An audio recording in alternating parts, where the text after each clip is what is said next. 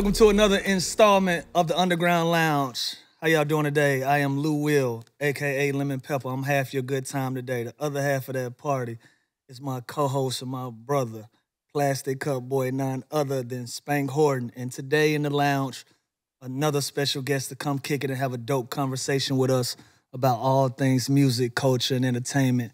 My dear brother, Mr. Thanksgiving, Grammy Award winning, Generation Now CEO. Yes, sir. What's up, Drum? What's up, my brother? What's up, man? How you What's up, doing? What's up, Spank? What up, Drum? How's everything? Um, Philly in the building. Philly is Come on, man. definitely in the building. You gotta say it too, Lou. Philly in the building. Yeah, we got it. We You know, got I'm you know I'm an honorary North Philly. Absolutely. I'm honorary North Philly guy, man. sure. They they still love me on them parts, man. What's up, my brother? How's everything? How's Um, life? Life is incredible, man. It feels good to be here. Thanks for having me, guys. Man, listen, we when we talked about filming in Atlanta and filming in my backyard, we wanted to make sure we invited people that were authentic to what we were trying to get across to people, man. We wanted to speak to everybody that's a part of culture, that's a part of shifting culture, that's Sure. a part of changing the game, changing the narrative, how we look at music, how we look at sports, entertainment in the city of Atlanta that's brought it out to the world. And I was like, man, we got to get my brother DJ Drum on here. Nah, I appreciate that, man. Sure. It Yeah. good. And, and and Grammy award winning. Yeah, that's an amazing uh, title to have in front of my name. I, I don't, I don't. There's a lot of things that I, I felt like I, I would accomplish, and a lot of things I wanted to accomplish. Um, but I didn't know if I, I saw that one coming. I'm not gonna be. I'm not gonna I lie. wanna, That's what I want to ask you, Drum, with your background in trap music, Southern hip hop, the Gangsta Grillz collections, and we'll get into all of that. Mhm. You got your Grammy Hmm. With Tyler the Creator.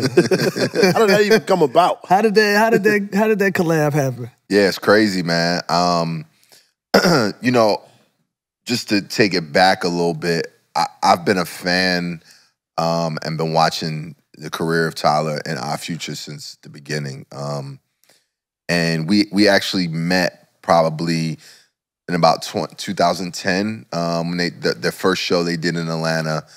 Uh, they had a show at the Tabernacle, and um, they wound up. I was I was still at Hot 107.9 at the time. I had Gangsta Grillz Radio, and the whole uh, collective Odd Future came. We did an interview, and I remember, you know, Tyler really like telling me that he was a fan and he grew up on my stuff and and things like that. So I went to the uh, Tabernacle show after the interview, and I was in the building, and he he like told the crowd, I was like, "Yo, shout the DJ Drama." He was like, "Man, one day I'm gonna." Had this guy yell all over my shit, you know what I'm saying? That would be crazy. you know, fast forward um 10 years later, um, during COVID, I got a I got a phone call um, from from Tyler, and he was like, "Yo, I I, I got this idea that I want to run by you." So we talked about it a little bit, and he was like, "Yo, I'm gonna send you the music. I'm, I'm gonna send you the music, so you can check it out. I want you to, um, you know, see see how you feel about it." Never wound up sending me the music. couple weeks passed. I was like, "Yo, what's up? Like, what are we doing?" So then he wound up hitting me. It was like, "Yo, can you uh, fly to LA?" You know, and this was a time everybody wasn't flying and didn't feel like flying, Yeah. and I was, you know. In Atlanta, we was wide.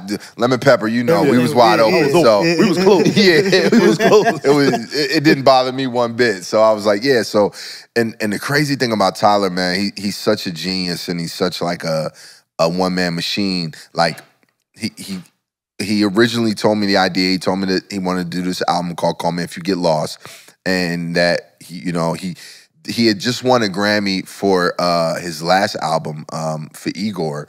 He had won the best rap album, which he didn't really feel like was an actual like rap hip hop album. You know what I'm saying? So he was like, "Y'all really want to get back." him. I remember him being outspoken about that, even at the Grammys. Right, and he wanted to get it. back to like you know spitting and, and letting niggas know he could really he could really bar up. so when he originally played me the music, he had actually, excuse me, he had actually found some random vocals of mine, like not even from like a Jeezy, a Wayne, a a a, a, a Meek tape. It was just like some random drum vocals, and it placed them just to see how I would sound in proper places. So I was like, "Yo, this guy's like, he's Yeah, he's just he on- gets it. Yeah. yeah, He had a he had a clear vision of what he wanted. clear vision on what he wanted to do. So then, you know, I went in and did my thing. And, you know, normally most times when I work on projects, I, I like to like be in my own zone, not really be around the, the artists and everything, and kind of just like get into my get into my in my mode and, and and do my part. With Tyler it was a little different because you know I went in and I, I just I did more material than even necessary. Like I did multiple takes during songs, and then he would just say some shit like, "Yo, just say like." You're on a boat somewhere in Switzerland, and I was like, "I'm on a boat," and it was like, he, I could just see him outside the booth, like, "Oh my god, that's crazy." so But you felt like, like, does this match? Does this make sense? No, for me it did. I mean, because I again, like, I, there's been various times in my career, even with Gangsta Grillz. you know, Gangsta Grillz started as like a very southern trap, street orientated brand. Right. But as time went on, I always wanted to grow the brand. So I wound up doing tapes with people like Pharrell, with people like um, Chris Brown, you know, just kind of stepping out of the box. And like even like the Pharrell tape, you know, was very inspirational, even for Call Me If You Get Lost, because that was one of those tapes that like T and a whole generation of of kids of like, you know, his his same interests really grew up on. And that was like a mesh of like this world, this the street brand, Gangsta Grillz, and then Pharrell coming together. So Tyler was is like the next coming of that. So I knew it was special. Lake knew it was special. Um, we had Shout we did about Lake. three sessions. Shout out to Lake. Shout out Cannon. Literally, Lake came in the second session and was like, "Yo, y'all gonna win a Grammy for this." Um, so we did the project. We kept it super secret. I remember doing multiple interviews over COVID. You know, people was asking me what I was working on, and I would say, "I'm doing this, I'm doing that," and I just, you know, I didn't let nobody know. I said I got something special.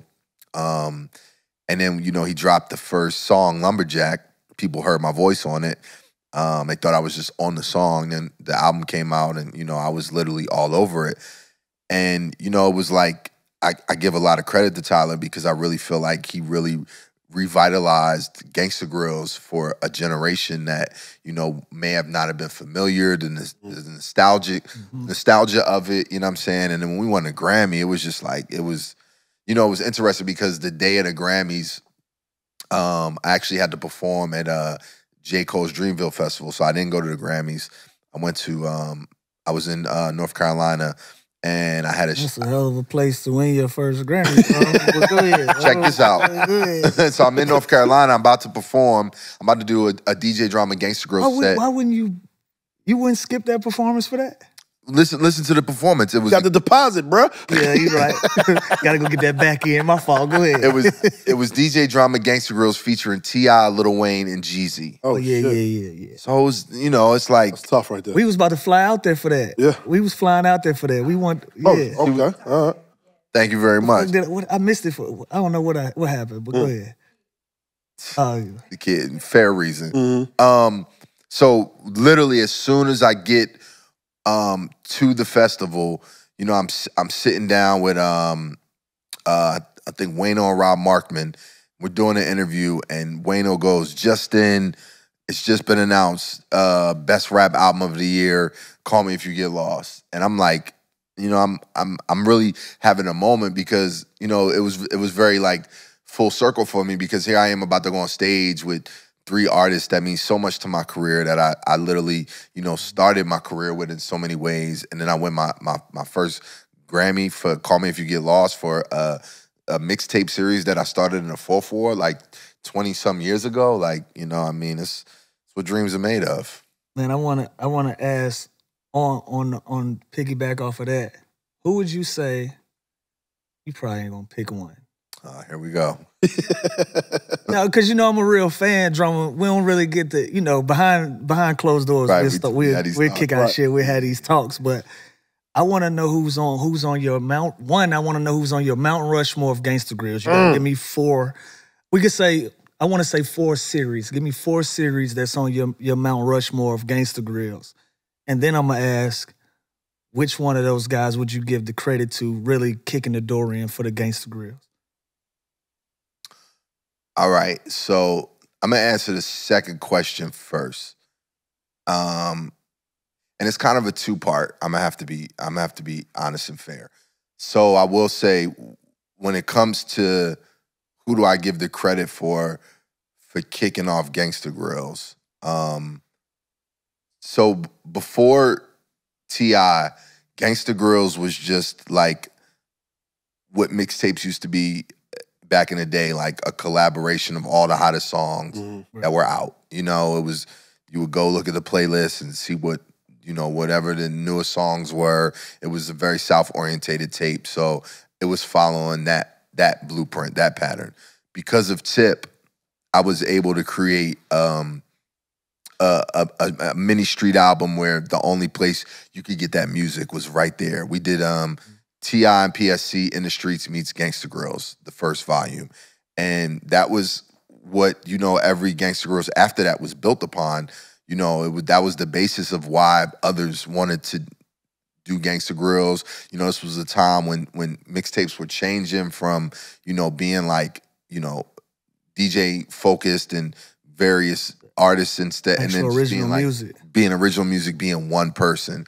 So, you know, I always have to, you know, tip my hat to tip, um, you know, for really us, you know, collaborating in that opportunity and putting that together. And then, you know, the probably the the first artist that I did a tape with that was somewhat of an unknown artist and that, you know, the tape took off was Jeezy. You know, when me and Jeezy did the first in the streets, you know, when they were first handing those CDs out, they weren't saying this is the new Young Jeezy. They were saying, "Yo, this is the new Gangsta Grillz." And anybody who's from that era remembers this all blue cover. You know, Jeezy sitting in a, uh, um, sitting down with a um, exclusive game long jersey on. You know, saying in the streets, and that tape right there was like, you know, it, it took all. It, it was it, there was nowhere you could go in the in the in the southeast and, and not hear um it, the first Jeezy mixtape. And the scene was set with the And- BMF and- and the squad. scene was set, you know. Everything, just that time and how he came out, the scene was set. Nobody had Atlanta fucked up like Jeezy. Mm. At all. And you know, it was like the whole tape was going in the club and the music did not exist without my voice or my drops on it. So Wow. literally you you were forced to have to hear me because you would have to just play the music off the tape. You know what I'm saying? So you would go in a club and you know, I'd be screaming all over the records and it, it was it was no you started to escaping get me. you started to get flack for that. I see you just post something about uh you talking about you know the record fire of this nigga yapping Oh yeah. Oh man, I've been dealing with that my whole career. You know, they either love me or they hate me. I say they gotta respect it, but you know, they, people been talking about. You know the only I'm the reason why they made a, a no DJ version of. Oh, no DJ ver- yeah, I'm the, I'm the reason why they did that. Like What what year was this? Paint, paint us the picture for This the people was- that wasn't in the South. What this, year was this? This was like 04. 04. Um, I, I, if I'm not mistaken, me and Tip's tape probably came out at the end of 03. In the streets, uh, the first Jeezy project came out in 04. Mm. And then Trap or Die came out January 25th, 2005. And the reason why I remember that date is because, you know, we did a, a huge party of visions, uh, um, a mixtape release party. And before Trap or Die, the a release date for a mixtape was non-existent. Right. Like that mm. didn't. There were no release dates for mixtapes. You just would go to the store and it would You'll be it, out. You yeah. know what I'm saying? You would see it, but because You you had to you had to go to the flea market You had to go to the flea market. every Saturday and go check to see what and they see had. what was out. coming out. You know what I mean? You might you might go on a mixtape website and see what was new, and then hope either order it or go to the store and see if it was out. But because of Trap or Die, like we had a, a set. Like, all right, this is the day the tape's coming out, when it's going to be released. This is when we celebrating, and hence there it is. And it was like, like y'all said, like it was, it was what a time. You know, obviously, um, uh, the world and the culture is is getting a, a piece of what it was like because of uh, uh, the BMF series. But like, you know, it, it's really a very unexplainable time in Atlanta to to to be a part of and to. I, I knew back then it was a movie in the making. You know what I'm saying? I had the pleasure of experiencing that as a kid. I played with Allen Iverson. right, right, right. Yeah. So I went I went to the you club was you was there. Yeah. and um I remember him going on stage and all of us we had to stay in the crowd. But they they went up on the stage, but I, I re- just remember seeing trash cans of um Cristal at the time. Oh yeah.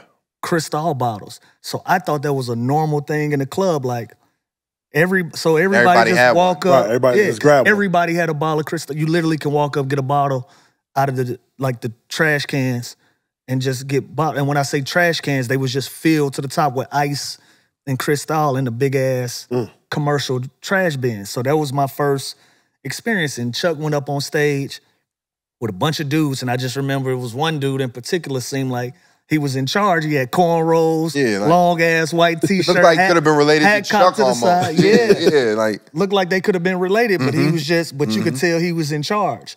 And everybody just kept saying BMF, BMF. Mind you, I'm 17, 18 years old. I don't know what y'all, I don't know what's happening. You know what I'm saying?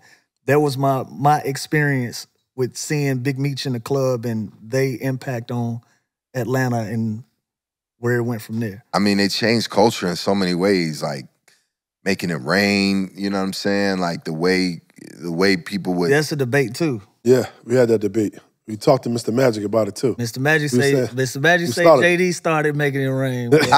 I'm not saying J, JD may have. I'm. I'm. But there was nobody that made it rain like BMF. Like BMF. yeah. and we all can attest to that. Yeah, so I'm I'm not gonna take no, I'm not gonna take nothing from Jermaine Dupri. You know what I mean? J, JD can will probably that. say that. Yeah. like, Yeah, yeah, we could attest to that. yeah, it was a different type of rain that was dropping. It That was a that a was thunderstorm. Another thing. Yeah, 50, 60,000, 100,000, and you thought that was normal because that's that's your first experience seeing that shit. Did when That's you was an- coming to ATL, you Yeah, see that? I saw it. I saw it plenty of times. But seeing in, up north in Philly, we was getting lap dances, five, ten dollars. That was it for the whole song. That was out. That's it. A lot of tw- lot of twirlies. Yeah. yeah. we go to Atlanta. I'm like, Yeah. hold on, I gotta get more than five dollars. What's Yeah. going on? Man, what? And you was getting shamed too. Shout Yeah. out DJ Nando, all them guys. Yo, broke Oh, yeah, ass call ain't you- doing oh, no yeah, money. call you oh, out. Rest Poverty. peace, They Nando. they man, let me get a uh get five, five, six hundred. Just so the DJ stay off of you. Mm. You know what I'm saying? But Jeezy went crazy.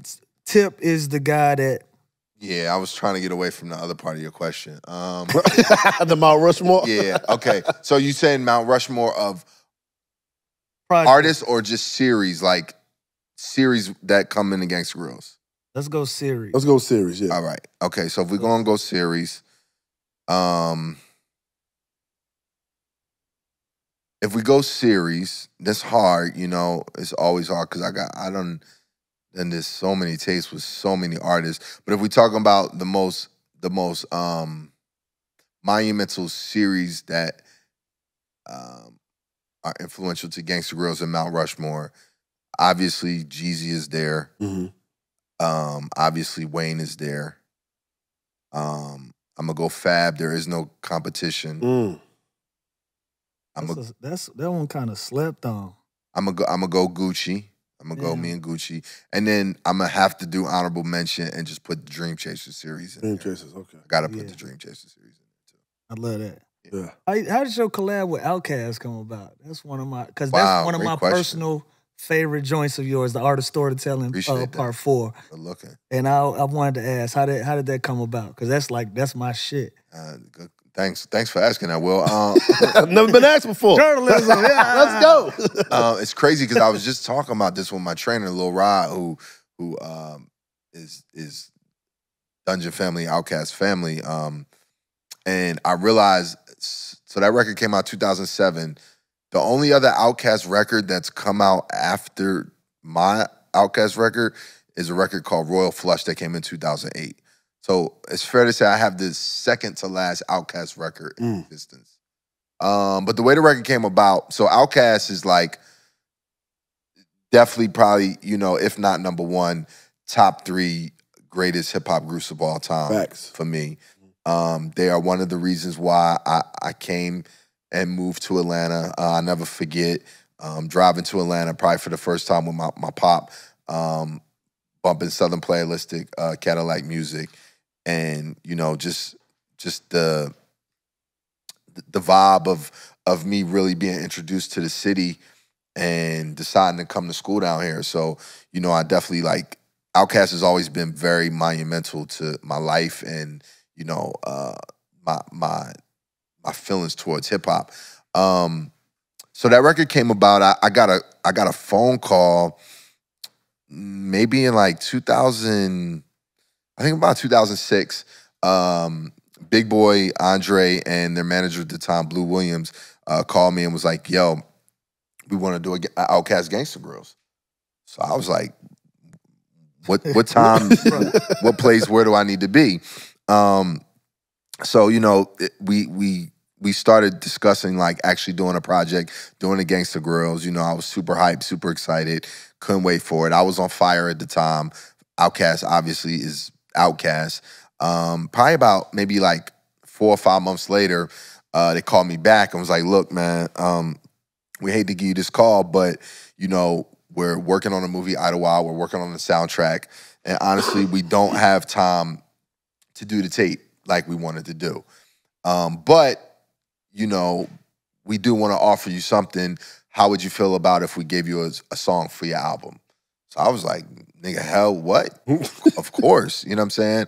So, you know, I'm here I am super excited, like, oh, I'm about to have an out. This, this is when I, I did my very first album. Um, I had just got my record deal with uh Atlantic Grand Hustle, um, Grand Hustle Atlantic. And, you know, anybody who knows music and an artist, when they do their first album, it's like it's like the culmination of your whole life. Like you want to put everything into your first album. So I start sending uh 3000 beats. Mind you, like I said at the time, I'm I'm hot as fish grease. So I'm sending this man you at if you can think of every hot producer that was around in had. that era, I had beats from him and I was sending them to him and he was saying nay to everything. Mm. Like everything. I couldn't get this man to, to, you know, get on a record. So then in my head, I'm like, oh, this is not as easy as I thought it was going to be. So then, uh, come 2007 January, uh, the infamous raid happens. You know, we we Right. we we we go to jail for He bootlegging and breezed past. I'm racketeering. gonna go back. I know we gotta go back, but it, you know, it's just Right. part of the Outkast story. Mm-hmm. So me and me and Cannon get knocked. You know, we do our we do our hard time, our, our quick twenty four hours. Get hit with the Rico. So I get out. So Cannon had made this beat for me at the time. I was doing this. Um, I did this Jim Jones mixtape called Seven Day Theory. That was the last tape I did right before we got locked up.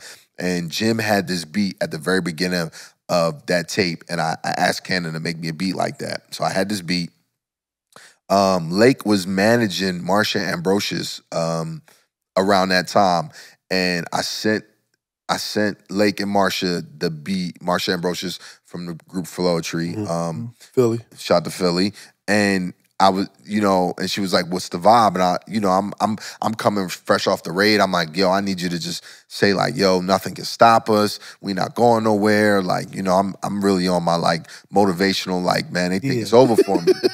so she literally like takes what I tell her and, and makes a hook out of it. I send it to three thousand. I, I I I texted him that. Now I emailed. We wasn't texting nothing yet. I think I emailed him the beat. The, nigga says to me, "Give me twenty four hours." Mind you, I've been sending this beat, this man beats for seven months. Mhm. I send him this one beat with this hook, and he says, "Give me 24 hours." Next day, he sends me back the legendary uh, uh, verse that that is now the art of storytelling part four. And I, I, lost my mind at the time, you know. And and this, the, you remember, this was around the time when when uh, Three Stacks was going on a crazy feature run. Like Mhm. He did Walk It Out. He did uh, uh, I think the John Legend record. He did my record. So then I took it to I took it to big. Um, I, I went to Stankonia um, to get big on my album. I think I had like three songs that I played for him. I don't even know why I had any other options for him. Um, Besides that record. yeah, I, I don't know what. I, I think I like played him like two other ones, then played him now. He's like, nigga, what are we talking about? so then he he um he's like, I'm gonna do this record, and Big Boi actually is the one that named it the Art of Storytelling Part Four, and the rest is history, man. I I, I literally can sit here and say that I you know I'm probably the only DJ that actually has an Outkast record, and just Mhm. you know as a A as an too. artist, DJ, produce whatever. The fact that I, I I literally have an Outkast record is you know definitely in, in one of my um my highest moments of my career. Tell me one that got away. Ooh, I could tell you a couple. uh, Still thinking about it. Thank you. Outkast will be one. The whole project. yeah, Outkast would be one. Um, the Nicki Minaj "Beat Me Up, Scotty" was supposed to be a Gangsta Grillz. Mm. Um, it's crazy because I they just put it on um, streaming platforms uh, a few weeks ago. But uh, days before rodeo, Travis Scott Mhm. that was supposed to be a Gangsta Grillz. Yeah. Um, me, Gucci, and Drake had been talking about and worked on some records to make a Gangsta Grillz. Um, I think are there any other ones? Oh. Other records that got. Yeah, I mean those are some big ones right there. Oh, they big, sure. Cause you dabbed in some, you dabbed in some R and B. You had Dream. Dream. Um, I did. I did. I know. You did CB. I did CB. I know it's not. You can't really speak these names, but I did an R. Kelly one. I did CB. I did. Nah, I he- speak R. Kelly all the time on here. That, look, hey, drunk. If you looking for some bullshit to get into today, That's your boy hit. So I did CB. I did. Um. I did Jeremiah. The late nights. I did. Uh. Fuck it, Songz. fuck it, drunk. Go on, give us our Kelly story.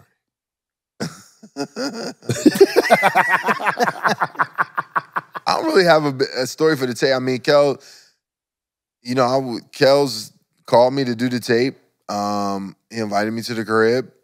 You know, I remember going to the crib in Chicago. I mean, he was super like um gracious and, you know, cool, talented. I remember him just like, you know, kind of walking me through how he had been working on the records and he was he was doing it kind of like Weezy style, like freestyling over other people's beats at the time. Not freestyle, but singing over other people's uh, beats at the time. But um, yeah, I don't, I don't got no wild R. Kelly story. I, I do. That nigga is a serial cheater in basketball. I heard you gotta keep passing him the ball. You ball. gotta pass him the ball. They that, He had a hear that. team. They literally passed him the ball until he shot the ball, and if he missed the shot, he would call a foul he would call the foul. by himself. He would call a foul. Nigga missed the shot, Nigga said, "Ah, foul." said, "Man, get the fuck out of here, man." So we started walking down the court. This nigga said, "I sold 80 million records. That's a foul." I said, "Not out here, motherfucker. Check ball. We going down the court, bro." Nah, Where I was y'all sold, playing at? Nah, I sold eight million records. Right, right. On the basketball. That's when it, that, that's when niggas don't have like when they saw you. That's that be your go tos. That's like Yeah. when you don't know what to say. You be like, nigga, I'm rich. Like, Right, right, I right. sold eight million records. Yeah, Yeah. he, he did that. Yeah, I believe. And we wasn't and we wasn't going. It ruined it ruined the whole it ruined Where was this at? It was in Yeah, Chicago? It was in Atlanta. It was in Atlanta. Oh, Yeah, it was in hell no. Atlanta. It might have passed what in was the Chicago. teams? Man, it, I remember it being me, my homeboy D, my homeboy Tay. They probably don't want me to say their names in the R. Kelly story, but they ain't there now. Uh, uh, I don't remember who else. And he had five. He came with his own five. It was So a how did pickup this- game. Yeah, how did the yeah, game? how does it even- go? Yeah. Yeah, we was at the uh, studio. They asked us. He was looking for people to hoop with, Okay. Oh, and they okay. called us to the studio. oh, We I got up. you. Weirdest shit I ever experienced in my life. Kel's got a little game though, though, right? It said you I, shoot. would, I wouldn't know, man. Like Uh, He called a foul. shit, it was yeah, it was rigged up for him. Like I don't know if he actually could play. That's hilarious. You dropped 30 on R. Kelly. Nah, nah, I remember that, but I, but I, re- we talked about Gangsta Grillz. We talked about impact in the streets. How did the raid come about? Because now that music is streamed and the game is so different now, what could you what could you tell the average person like me that don't know much about copying music and mixtapes and because they charge you with racketeering, power, Bootleg and racketeering. Yep, under the RICO. I was the first nigga in Atlanta in the music business to get a Rico. To get a RICO. Shout out drama. Shout out drunk. Kick this shit off, huh, drama. My bad, y'all. They've been flowing after that. I apologize.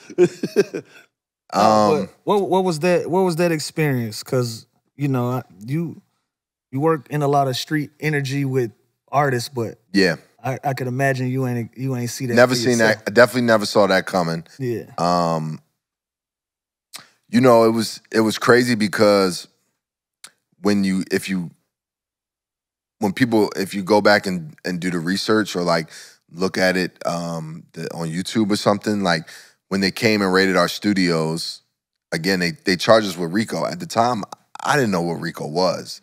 You know what I mean? Until I got out at out the next day on bond. I had I think we had a hundred thousand dollar bond. Me and Cannon wound up getting locked up. And you know, I, I got on the phone with Tip. I was I was still DJing for Tip at the time. I was signed to him as an artist through Grand Hustle Atlantic, and he was like, "You good?" I'm like, "Yeah, I'm good. Like, I'm I'm I'm, I'm out." You know what I'm saying? He like, "Have you checked your bank account?" And I was like, "What you mean?" He's like, "Bro, they hit you with the Rico. Like, go look at your bank account." So I went on bankofamerica.com. the fact that tip like Right. he know. and tip the, tip the, that shit said 0.00 and hmm. I shed a thug tear, man. yeah, yeah. God damn. And and you know, back then I was new to making money. Like I'm you know, I come from a middle class background. Like I didn't know nothing about no investments, nothing about no, you know, retirement funds. No, Right. I just used to look at my money in the bank every day and just Make sure it was still Make there. make sure it was there. there. Yeah. You know what I'm saying? And it shit went from the high six figures at the time to zero. Like, Whew. and it was Over 24 hours. in 24 they hours. give you your man. shit back or nothing. They didn't. They didn't give me none of that back. We had two accounts. One was um actually a uh where we had our album budget in, and then the other was kind of like the DJ drama, like the DJ or whatever I had at the time account. And because they said they couldn't differentiate what money was for what, they just kept all of it. Now they they actually never gave us like one of those like uh fines. I think like you know they had a two hundred fifty thousand dollar fine. I, shit, I wish they would have given me the two hundred fifty thousand dollar fine and gave me my bank account back. Back, yeah. Yeah, I'd have been better off that way. But um, so what I will say is when they came when they when they came and raided us, they definitely thought they was gonna find more than just mixtapes. For sure. You know, they want they said they wound up confiscating like 50,000 CDs. They took our CDs, they took our cars. But on the news report, the the officer says, you know, normally in these situations, we find guns and drugs. Mhm. This time we didn't. Like they didn't find a a pistol, a, a spliff, no nothing. Thank God they came on a Monday morning. Like Because if it was Friday night, it would have been a whole different scenario.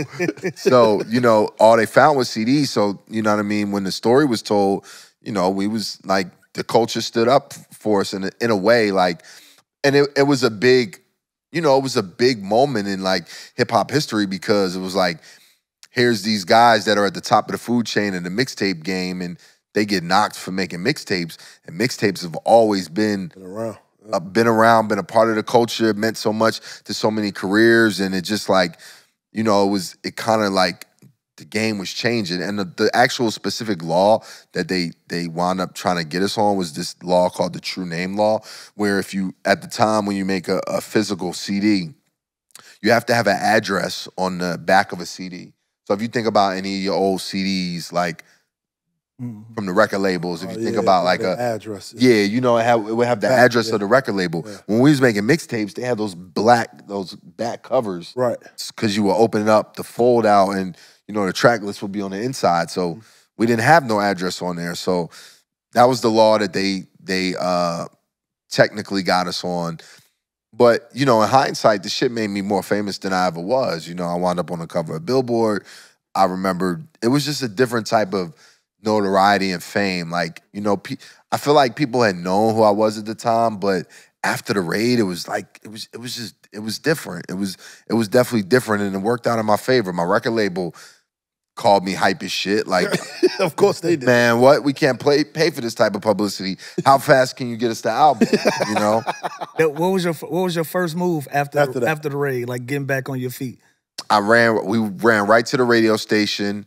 Um, um, got on the radio, was talking shit. I remember I did, I did a gig, and then I put a mixtape out like two weeks later. Mm. Like, which is crazy thinking about it, because you know, and it was like, I think it was like Gangsta Grillz 16, me on the cover, and you know, because I, I ain't gonna lie, like when that when that happened, I felt some some guilt at the time because you know, like I here's a kid, I grew up loving mixtapes, loving DJs, loving hip hop, and I'm like, you know, and people, it was almost like, damn, a mixtape's gonna be dead, are they gonna die? And I was like, I can't let this culture that I love so much that, you know, got me to this point. I, I don't want to see it fall because of because of me. Like I because it was on my shoulders, you know what I'm saying? So um for me it was really about and I remember just doing a lot of interviews and I you know, I, I I always say this like I've I've never been I never liked that question when people say like where do you see yourself in five years or ten years or whatever like School shit. I've never been good at that type of question.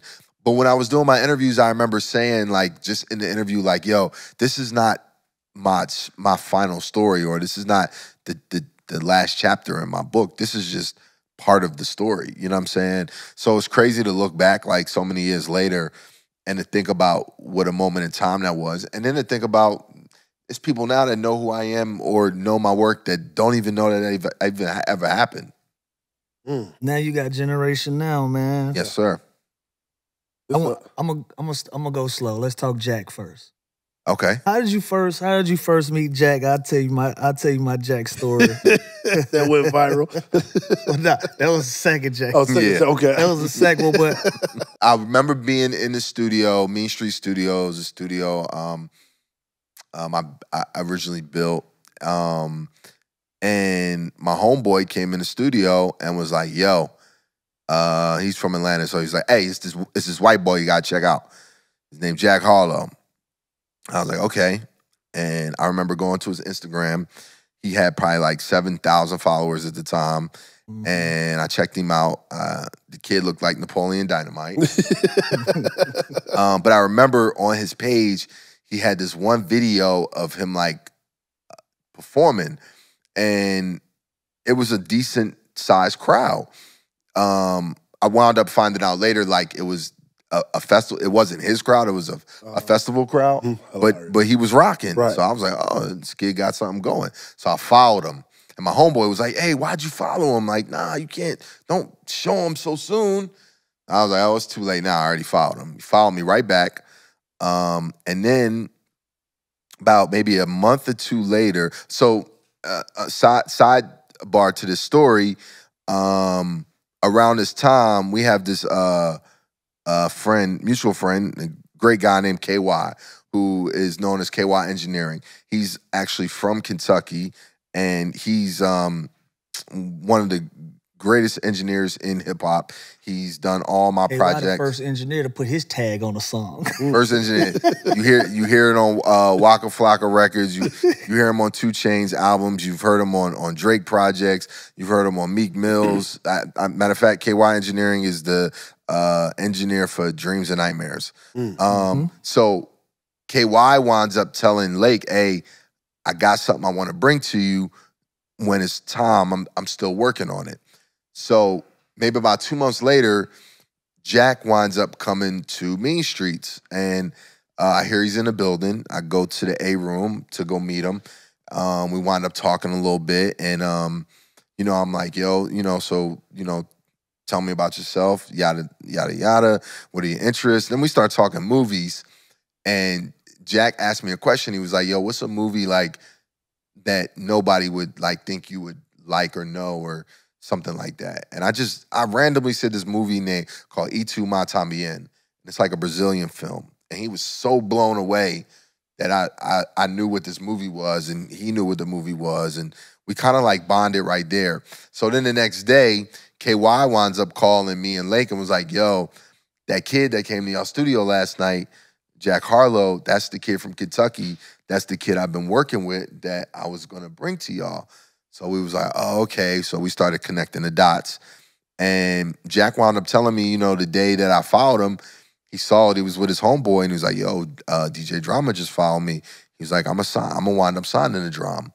And it was funny because when we were when we actually uh, when we we were in a process of signing Jack, I remember him asking us something about Uzi. And this was kind of during the time when we was going through a little turmoil with Uzi, Mhm. and we we kind of like had to play it off. You know what I'm saying? Like, nah, everything's good. Like, that's, that's nothing. You Right. know. And so we wound up uh, signing Jack um, in 20, the end of 2017, maybe 2018. And the kid was always, you know, he always had his a vision. He was always focused. You know, I was, what I what I really loved about him from the beginning was just like he was authentic to himself. He wasn't trying to be anything he wasn't. You know, I I, I That's a fact. I liked his friend group. You know, he was witty. You know, he he just was a he's he's a good human being. He's a he's just a good guy. You know, and I appreciated that. And he was very he had a lot of ambition, and you know he he knew where he wanted to be and wanted to go within you know hip hop. Um, so you know, I was, and and I think that it really it helped too because you know him being a white rapper from Kentucky.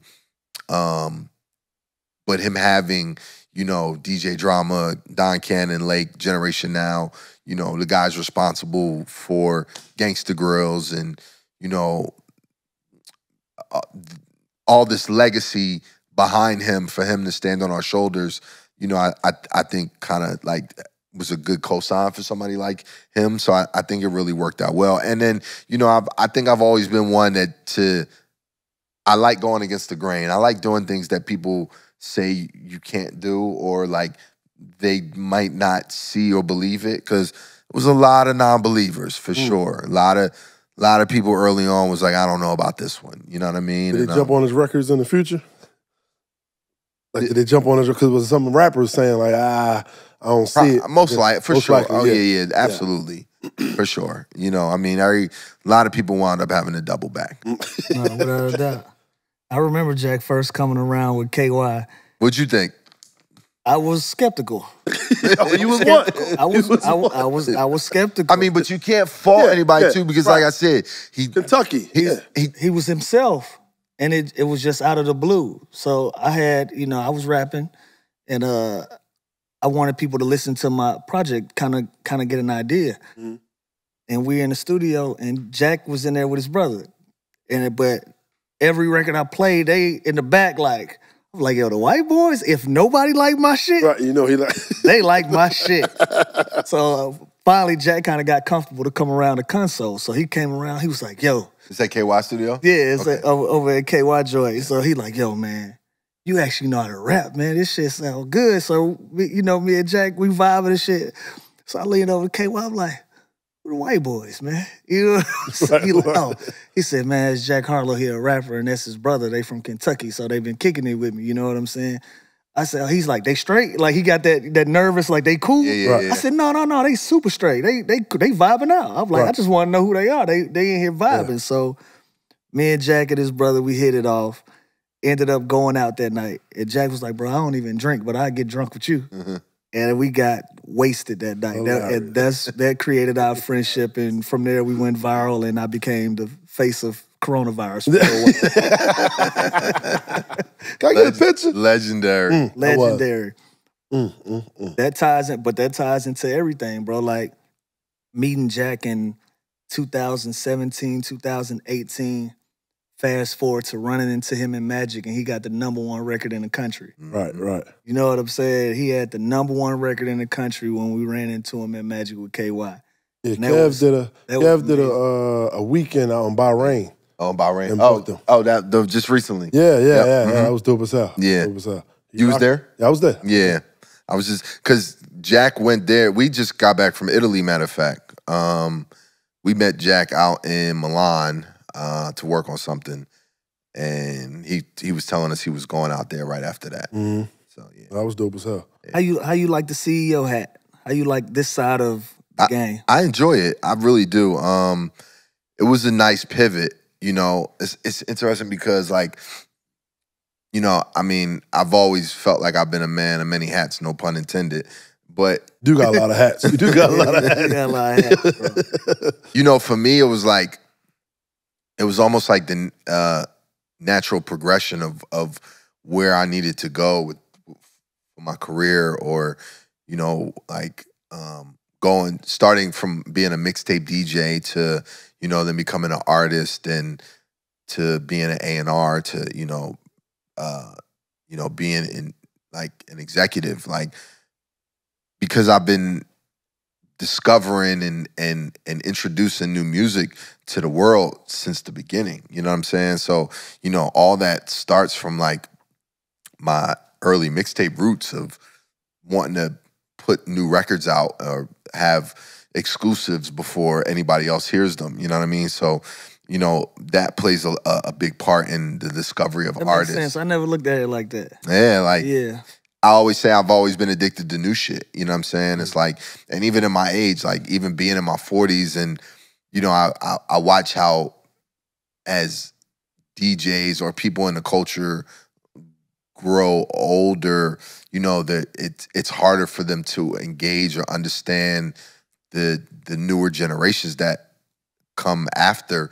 But for me, I think because of how I DJ or or who I DJ for or where I DJ, you know, it it's never been a challenge for me. Like I've always been, been able to embrace the youth, you know, and and and kind of like um understand like what's about to come or you know what what's about to to break or you know just be able to to discover and find new talent. So, you know, it's really exciting, man. Like it's one thing to be successful for yourself. It's another thing to be able to make other people successful. Oh, so to be able to like watch, you know, these young kids literally go from wide-eyed, you know, aspiring um artists to fucking superstars, rich as shit. Where Yeah. you know what I'm saying? Like it's Shout out to Uzi. God damn. Shout to shout to Vert, like an, another one, like you know, to to have met Vert, like this this kid from Philly who had all the energy in the world, and watch him become who he is now. It's just like it's you know it's it's a great feeling, man. Like it's it's it's phenomenal, and um, you know, it's it's definitely it's definitely a hat I, I take a lot of pride in wearing, and um, you know, I I look forward to continuing um to continue to you know keep discovering new talents, keep you know putting out new artists, and like you know trying to keep create superstars. You still tapped in with the uh, Philly? Because right now, Philly doing the whole drill now, though. Drill. Yeah, man. Rest in peace to uh, YBC Duel. I just right, he got right. he he uh, passed. Um, but yeah, I, I I I'm tapped in. Okay. Yeah, I'm tapped in. I'm tapped in a little bit, just a little bit. Yeah, I see the videos. You working with new artists, but you but you circling black back with some legends too. Greatest of all trappers. You Yeah, got another absolutely. one coming with Gucci. yep. Shout out to Tell me Guap. about that. Yeah, Gu- uh, Wop reached out to me. Me and me and Guap. I I I've, I I talked on a couple songs of his in the last couple years, but man, it's probably the first tape we done did together. It's got to be in over a decade, if I'm not mistaken. Um, so yeah, he he called me. He said he he had a new project he wanted to do. It was it's literally no features. It's called Greatest of All Trappers. Um, super tape, like you know, he it's it's it's gold grill Gucci. This this fat Gucci on there. like, you know what I mean? This this this is this is not clone wop. This is Right, right. this is that movie WAP. And you know, it's always fun for me. Gucci is one of those one of those uh, um, artists or uh, collaborators that I, I really, you know, have had great chemistry with. Um, have had very like classic projects that have meant a lot to people and everything. So, you know, I was just in there talking my shit. They, s- I said on there, what I say? I said, uh, Drum, they asked you why you the GOAT. I said, I'm not the GOAT, I'm the ghost. I'm the greatest of all shit talkers. oh, Little bars. the little bars. ghost. like that one. Um, Ghost yeah, of the underground. Let's go, baby. that was that was a fun one, man. That was fun. Who would you see you doing the uh, Gangsta Grill with, vet or new guy right now? Dropping one. A vet and an- a new guy. Yeah. Ooh, um, I mean, it was doing one with with Hove would be incredible. Facts. Oh, yeah, for sure. Three thousand would be amazing. I know he said he don't want rap no more, but hmm if I could get a all three thousand Gangsta Grillz, that'd be incredible. You can do something with the flute. You can do something with it. Gangsta Grill flute. Oh, um, Black Thought. I Not was to whisper still, on that Like motherfucker. the- Drake. you can't yell on Not the to you can't you can't yell on the Can flute. yell on that, that's not, I've talked in a, a, a monotone tone, but Yeah. I ain't one. I don't think I've ever whispered on it. Might be some shit. What would I? Damn, on an all flute tape? That'd Mm. be crazy. That's what I'm saying. That's good. Black Thought would be Yeah, a good one. Black Thought is because that's full circle. You know Mm-hmm. that for me, that's another person that like. You know, I came up the re- the root the roots is the reason why was the first initial uh moment for me that I realized like, damn, you could really do this hip hop shit. Like, Mm. they were the first people that I saw actually get a record deal, be on Rap City, you know, perform, go on tour with the Fugees, and you know, so it's it's because of the roots that I, you know, I, I realized this could really happen. So I've always wanted to do a Black Thought tape, and then new guys, um, it's- always so many, man. Um, a, a female would be dope. You know, I would love I would love to do one with like maybe Latto, uh, Anycia is dope.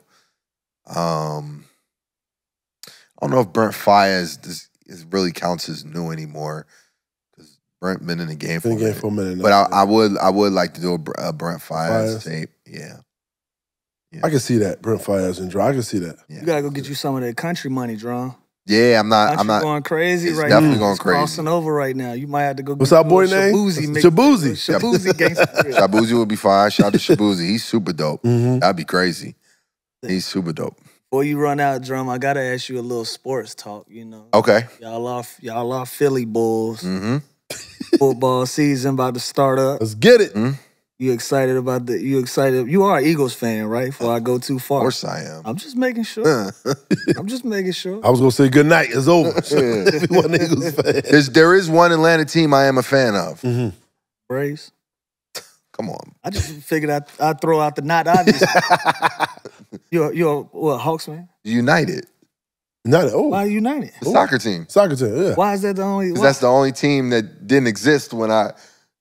Uh, Oh, okay, I was about okay. to So say they got the Philadelphia Union. They got a. They got. I got to give Atlanta one team. And I, I'm a Phillies fan. I'm a Sixers fan. I'm an Eagles fan. All right. But Flyers, I guess so. Yeah, the soccer team. I'm gonna go with the United. Hilarious. you feel good. What What do you think uh, Eagles gonna be this year?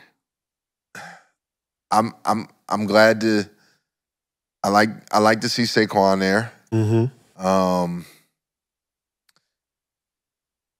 I think we're gonna make the playoffs. I see. I think we're gonna make the I'm saying? playoffs. See what I'm saying? We made the playoffs last year, See what I'm- and we was trash. Yeah, and which is crazy to think. 'Cause Right. it- even the, even I don't our understand even our logic. record last year is crazy because the games we won, we barely won those. Uh huh. games. We damn So, did Um, we gonna play better than we played last year. for sure. Yeah, we y'all one y'all one playoff game better. You think No, I think two. two? Yeah. Now, if we and if we two playoff games better and we we lead the NFC, then we gonna be straight, and so that means we going to the chip. Exactly. Mm. There we go. Come on now. We going to the chip. One way to look at it. PG a sixer now. You excited about that? Oh yeah, that should be fun. That should be fun. Um, Where you at with it, Spank? Spank Spank not an Embiid guy. I am an Embiid guy. No, Stop saying that, not. man. You not. You said it publicly, bro. what I said was I wouldn't mind a trade with Embiid. I was in my feelings too, though. After Okay. we lost, When I is was in it? my feelings. okay. You know what I'm I, saying? I Last year? respect that. Yeah, the end of the res- I respect yeah, you yeah. doing that. I was in my feelings. I'm gonna be honest. I respect it. But now, because I said it wasn't guaranteed it was gonna get a Paul George or somebody like that. But now that it's guaranteed that we got Paul George, it's going down. Oh yeah. Let's go. That boy Embiid done got banned from the crib, but he say he ain't good at home, man. Why? Because of the Olympics? Cameroon said, "Hey, come back over here, buddy." Damn. He chose to play with us. Come on, He on, didn't man. even look right in the USA uniform. You don't think you look right? Hell, You think he should have he, he should have went and played with how them? you gonna be on the US and then have a problem, then walk over there and be like, "See, coach." With the accent. That's very rare of somebody to do what he did though. Because most because most international players go Yeah, play for they their do. Go country. play for their country. I They don't do. understand. He knew where to go. He could have played for Cameroon. He could have played for France. Is it France? yeah, France. It was France. It's France. That's why they kept and the booming. USA. So if Yeah. you get the opportunity, are you going to play for a team that you know you're getting a goal with, or did you come in and I had an opportunity. I should say this publicly, but I feel like sharing today. Go ahead, let's share. Come on. you had the opportunity to go play for who? we listening? I shouldn't say that. But fuck it, I'm gonna say it. Once upon a time, the Dominican Republic reached out to me. Come on, Dominican Lou. they thought I was Dominican. They thought you You thought you was Dominican? what was on your Wikipedia or something? I don't know, but look, whether I was Dominican or not, they made it their business to try to get me as close to Dominican as they could. But I said, nah, I'm gonna have to live with that the rest of my life. I'm gonna right. have to That's pretend. funny. But yeah, I'd nah. have came with you over there. Uh, I bet you would. Yeah, I would have did it. I, I would I would have did it. What's what's ne- tell me what's next, Drum? What you got? What you got going? We got Gucci popping off. Yeah. Uh, Um, where where Uzi at? Where uh we know Uzi, we know Jack. Speak to Kai Cash, man. Let the people know man, what's Kai going Cash on. with is a Kai. new Youngin, artist. shouts out to Kai Cash. Yeah. Kai Cash is a new artist we just signed. Super dope, super lyrical. Um, I, I'm very excited about him. You know, um, he had he has hip hop in his lineage, in his, in his sure. veins. You know, he he Shouts grew. out to Rube. You know we out getting old when we cool with the rapper's dad. Right, Yeah, right. it's You know what I'm saying? Shout out to Rube. right. and you know, he, he just he he reminds me of of uh, the uh, the rap I grew up on. You know what I mean? Like his wordplay is incredible. A very distinct voice. You know, I, I love artists that have a lot of ambition and that that have vision. So, you know, I'm super excited to um for us to you know put this music out and you know for it to touch the people. Drake and Kendrick Where was Oh, you at on that, uh, Dron, with the whole Where, where we at on that, drum? Thankfully, I was on the sideline. Because last time he got pulled in a beef was between uh, Meek and Drake. Multiple times I Yeah. got pulled Oh, in yeah. beefs. Oh, yeah. with the Jeezy and the Gucci. Yeah, if- always get pulled in. Yeah, but you didn't and get the pulled in this the time. name. Um, yeah, I was watching like the rest of us. Mm-hmm. Yeah, from the sidelines with popcorn. Right, right. And they trying to say it's the biggest rap beef ever, but oh, because ever? I, I think people are um, prisoners of the moment. exactly. But I mean, hip hop is at a place that has never been as well. So, what I will say is, I mean, I think that I think that Jay and Nas is, very legendary. I think, sure. you know, that's one of the greatest hip hop battles of all time. Tupac, Biggie. Tupac, Biggie. Mm-hmm. But I, I will say that the the quantity of quality that we got from Yeah. the Drake and Kendrick uh, beef is like The actual records. yeah, Right. the, the body of the body of work that came out of that like Yeah. was is at another level. and they put the streaming numbers on each song. I was like, wow. Yeah, I mean, and now we can see it because of that. Like, Right. you know what I'm saying? Before we was just listening to the radio and Mhm. you know hearing the records and or Off the, top them on of, off the top of your head, though, what's the craziest rap beef that that not you experienced, but as fans that you remember the impact that it had on you? Like I remember, like Jeezy and Gucci being like a thing in Atlanta, No, that's the one. like a real, oh no, that's the one. it like affected cloudy. Like if you saw either one of Oh, them, no, no, no. it was kind of like Not even if you uneasy. saw either one of them. I heard stories about like security niggas that did security that kids went to school together Damn. and it was like this nigga was on this side, this nigga's kid was on this side, this nigga's kid was on that side. Down to and the it was kid? issues. Wow. Yeah, like it, it boiled down to every part of life in Atlanta because of that. Yeah. Like if you couldn't go to the club and play this this person's music or that person's music, Mm-hmm. so and so was in there, so so it just it got cloudy for a minute. nah, for real. no, that would that's definitely the one that I would say like from a uh uh like being a part of it and just from a you know a, as a, a student of the game and the culture like the one that I I say is is like next level. What would you, what would you say, Spank? Well, I'm up north still. Well, not now, but when I was up north, I'm always gonna go Tupac, Biggie. Yeah, Might as well go that because you lived I, through that, OG. You said what? You lived through that. I lived through that. Yeah, I was Yeah. young, but you know, I lived through that though. how old? How you was like a teenager? Yeah, I was a teenager. I might have been freshman year of college. See, It, been. it was high school. High it was- school? It was, soft. It was senior You year. was a fine. freshman senior, college. senior, yeah. You that much older than me? me and me and uh, Drum, what Same you? here. I'm, I'm 1978, so Yeah, 78, 78. All right, we Yeah. stay same age, same age. oh yeah. Yeah, see, hit, it, hit, it, hit us with the cab. Yeah, funny guy over there. Yeah. hit us with the date. Sorry. Like Charlemagne say, 1978. Yeah, 1900. That's crazy how they say 1900. That shit hurts. hey, me nah, I every ain't gonna lie, draw. That Meek and Drake beef was uncomfortable. Yeah, I, I'm sure it was for you. Yeah, It was, uh, it yeah. was You was in Toronto at the time, wasn't you? Yeah, and I and but I was flying the flag. I was Dream Chaser, You Dream DC. Chaser, right, Yeah, right. I g- it's probably me, Meek, and Omelly. We probably got the most Dream Chaser chains out of everybody. You Right, know what I'm right, saying? right, yeah. So it was And you in Toronto with them things on. yeah, like you had to draw a line, but I, Yeah. I had to stand. with- I had to stand with my team. Man, we did OVO weekend that year. Kev, we headlined the, Oh, uh, what's the name? Oh Yeah. my God. Drake came backstage. Come on, y'all, let's get a picture. Kev said, mm-mm, we know what you're doing. He did? Get out of here. But that's why that's why he's such a slick motherfucker too, Uh-huh. because then he went and put your name in the song. Yeah. Like, Right, yeah, right. Yeah. The sixth He- man. that's what I'm talking about. I'm six man like Lou Will. like he like, yeah, I'm gonna win He this good, nigga, man. I'm He gonna win this good. nigga over. Like, yeah. yeah. I probably was the happiest person in the world once, once they got back together. I seen them boys on stage in Boston. You know that Forest Whitaker meme? Uh, like, yes, these can enjoy music again. Because you remember, you, mm. you was in the club and Drake came on. Not only did Drake came on, back to back came on. Oh man. We used to be stiff as boards in the club. You, nigga, you with me? You better not move. hey, man, I ain't gonna lie. It was a That bop, number, though. I you- had to do a little something. It was a bop. Tough. It was tough. Yeah. Meek, I love you, but it was a bop. It was tough. And Then the breakdown, you love it, then you got it. I'm like, I'm listening to the club, like y'all don't.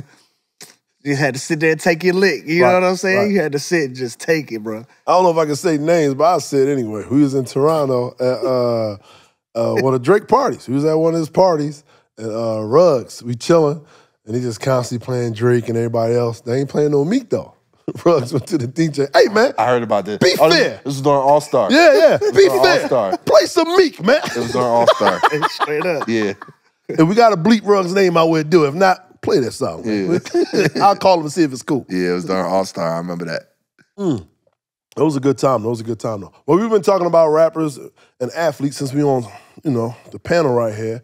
Something came to mind that we was trying to figure out mm-hmm. who be having like the most kids between rappers Woo. and athletes. Rappers, thousand percent. Between rappers and at See, there's, Let me there's the, see, There's some athletes. Tyreek Hill Yeah. got like nine or ten this. He he had his See- tenth one this year or ninth. athletes have secret babies. They have secret babies. Rappers have multiple babies.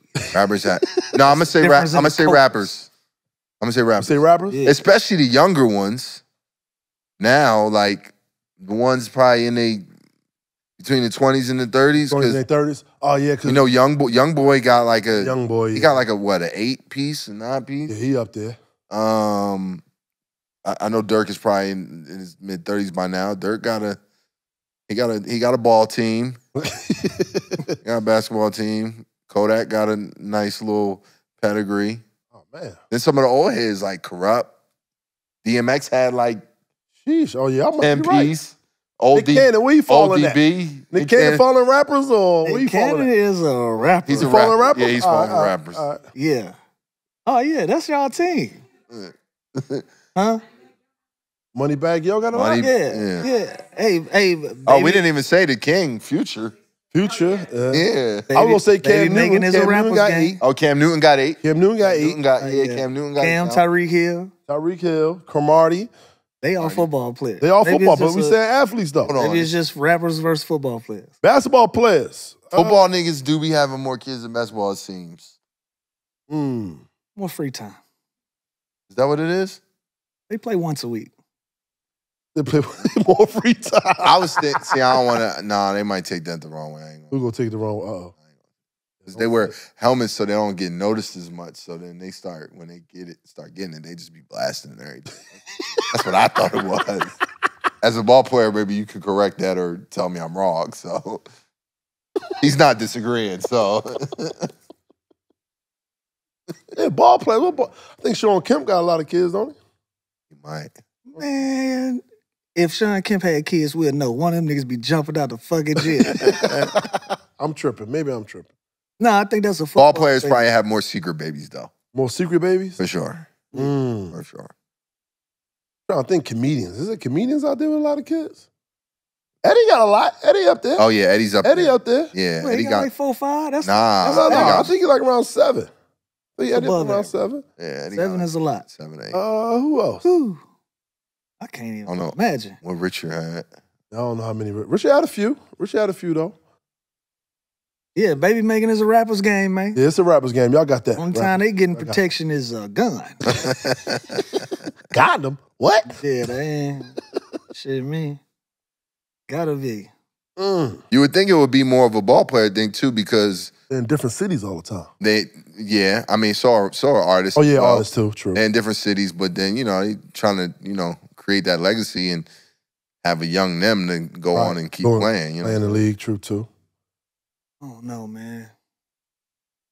You don't know what. so do you think it's more? All right, uh, on top of that, do you think I think it's just more ball players. player? What'd you say? I think it's just football players. I, I don't think he's wrong on that. Do you think it's more athletes that have kids that go into sports, or more rappers that have kids that go into music? Great question. Mm, that is a great question. Do rappers make more rappers or do athletes make more athletes? Uh damn, that's a great make more question. Athletes. I'm gonna say athletes make more athletes Got him. I'm gonna say that. More athletes. Genetic, because you got Will Smith and uh Jaden. Then you got oh you got Ghostface and Ghostface kid. yeah Ghostface got a kid. Transgender now. Hey, listen. And hold, they- hold, and, uh, hold, and they hold. into the- See, this the this the part where What? I'm like, hold. what? I didn't We're not even gonna get that. this on yeah, tape. yeah. I don't think Ghostface no. So uh, Ghostface got a kid, and they're in the music industry. Interesting. Yeah, uh, So I know Mos Def's, um, daughter, yeah, yes, Benzino and um, Benzino and Coyle Cola Ray. Ray. Yep. There we So go. hold on now. We, we back got a on lot. track. Come on, we back on track. yeah. We've been back on track. Nah, what are you talking about? You, you was, I You supposed to just keep it going, we bro. we got, No, no. we got Diddy and King. Diddy and King Combs. Yeah, Um, No, so it's a couple. it's a few, man. It's a lot. It's a lot out here. thinking to my, just keep it going. Fuck no. Tipping Tip, all, tip, yep. tipping all his kids, his Tipping all daughter his. singing, All right, Yeah. there you go. sons rapping. Yeah. Wow, I don't know. kids is dope. Super. Yeah. The money, huh? money. Money, hard. hard. I, I, I fucked with the money. Buddy, Buddy is fire. Yeah. Buddy is fire. Buddy look like his pop on the Soul Train line right now, like Soul Train line. But he looked like he older than all of them. he, he look like older than Tip. So- yeah, like he just his maturity level. yeah, level. but he's incredible though. Super talented. Uh, King do his thing. Uh, baby girl, I don't know baby girl name. Eris is gonna be a star. mm-hmm, Eris. Eris, Eris. is on her way. Eris. She's out of here. Uh, I saw more. her perform at his uh his 20th anniversary of trap music. That was Yeah, so- that was that was. That was dope. Yeah, that was dope. That was dope. Uh, 2 Chainz son gonna do something. We don't know what he's gonna do, but he's gonna do yeah, something. Halo star. He got a lot of charisma. And then even, I mean, he wasn't a rapper, but like even Drake comes from uh, his dad was in the music business, Mhm. so it's like you know, Count. yeah. So then on the athlete side, It's way more athletes though. for Off the sure, top of my head, Scottie Pippen, Curry, Pippen. uh, Yeah. Yeah. Gary Payton, Bronny. Hey, Pippen. Kyrie. Pippen, yep. Ronnie. Uh, Um, I just saw a highlight from uh, Dominique Yeah, Wilkins' son. Yeah, Asante. Dominique Wilkinson. Just saw his Yeah, highlight. yeah. Yeah. Um, and Gilbert then Arenas, Melo. Mello, Asante Yeah. Samuels, his son is in the league. D league. Wade. Shit, uh, Yeah, all the, all the balls. all the balls. All Yeah. the A woman said that, No, y'all. she A said that. We A woman said that, Yeah. y'all. It's a great, great title for a podcast, though. Great title for a podcast. all the balls. oh, the Boozer, Boozer twins. Yeah. Boozer Oh, yeah. twins. Yeah. Uh, my nephew, because I'm ball. I used to ball, and my nephew balling. Come on now, huh? Yeah, shout out to my nephew. Okay. Yeah, let's go. All right. Lou, Lou hate that when I I talk. thought we were talking I don't think- professional. I don't think- Play that Gratz, Drum. Can you tell this dude who Gratz was? Can you tell him? Simon Gratz? I know exactly Yes. who Simon Gratz is. You have to. He's I a know ball alumni. player. I know he knows. Yes. Come on, he knows. I I'm, no, played I'm for North them. Philly. Come Yeah, I on. played for them. So you was there when she, no, she is older. She than was us. a uh, senior in my freshman. Year. That's the Freshman reason year. why I started playing ball because I saw him play, oh word. and I said, "Oh wow," because he was the number one player in high school. Oh, I remember. So What you was doing before that was that? there, huh? What you was doing before that? What I was doing, I was just kicking, talking trash, messing. I was a bully back in the day too. I You was a bully. I was a bully. It wasn't right to Really? say I was a bully. I was. I I don't always see talk that. In, I shit to don't see that in your. if he was at Simon Gratz a bully, he wasn't no. He wasn't bullying sucker niggas neither. Cause Gratz ain't no punk. School. Yeah. Gratz was one of them schools. Gratz was one of them schools. So then, after I saw that, I said, well, I was playing football too, though. I ain't never played for Gratz, but I played middle league. I mean, uh, not middle, middle league, little league. I played little league and stuff like that. but when I got to high school, I was just, you know, flirting with the girls and stuff like that. But then I went to a game. I was like, oh man, I saw all the cameras and all that. I said, oh, I want to do this. So my sophomore year, I started playing. I mean, You was looking for somebody beat up. saw- That's how I you ended up in at the the game. looking for a nigga to whoop on. what you was bullying for? Lunch money or just, I was you just just like to stupid. I was just young and just stupid, man. But I was always this is what it was. I was a funny guy always. And I was always cool with the bullies. Mm-hmm. So they was bullying, so I was just following. I was just following it. That's all it was. You wasn't good at Tall bullying. back then. Yeah, I was tall back Oh, then. you too. know, okay. Yeah. So uh, you know, I look like that. The first time I remember uh, these guys jumped somebody, right? They're like, yo, Spank, why you ain't jump in? I'm like, man, y'all had him. He was on the ground. It was like four y'all. What y'all need me to do? So from there on, I started adding on to the Mm-hmm. jumping in and stuff like that. That's why. I mean, you These niggas was taking niggas SEPTA money. Yeah, tokens. I never used to take tokens Yeah. and sell them for a dollar. Tokens and passes. yeah. taking their passes. I retired from my bully stage early on. Early on. Yeah, this little Mexican boy got me right together. yes, he did. Yes, he did. I had a fucking, I'll never forget it. I had a fucking starter jacket, Pittsburgh Steelers. My dad was a Pittsburgh Steelers fan. Mhm. You know, the old the old school starters, you had to pull them joints over your head. Uh-huh. Man, the kid get talking shit. My stupid ass say, hold on, let me take off my jacket. Man, I must have got that Took jacket about right right here. Got I just start boop, boop, boop, like I was in a fucking bounce house. I just felt motherfuckers hit me. Mexican kid and his brothers, they done jumped on me, man. By the time I got my jacket off, they was gone. Right. And ever since then, I was I was done messing with Hilarious. folks at school. But uh Drum went to Central High. Yes, sir. I wanted to go there. I didn't pass the What test. part of town it is? Central is what? Olney? Yes, it's Omni. That's Olney. Yeah, but it's not. It's not like a neighborhood school. It's like the Yeah. good school It's a good school. Yeah, Central and smart- Dobbins smart was known Yeah. like the good smart schools. and the pretty girls yeah, and the pretty girls, for sure. and we- girls' high was right up the street. Yeah, yeah. Every time at the end of school, sometimes other high schools will leave their school to come to their school to see the let out. The Yep. girls come mm-hmm. out and try to get their girls. Yeah, come to our for sure, for sure. Yeah, I didn't make it into Central. Uh, I didn't pass the test or whatever. Damn, Uh, sorry to hear that. Yeah, Dobbins, I didn't pass the test. Yeah, I didn't make it. That's how I ended up at Grant. It sounded like you your education was It was low. special. It was low. It wasn't special. It was low though. I, I would say that. It was just above special.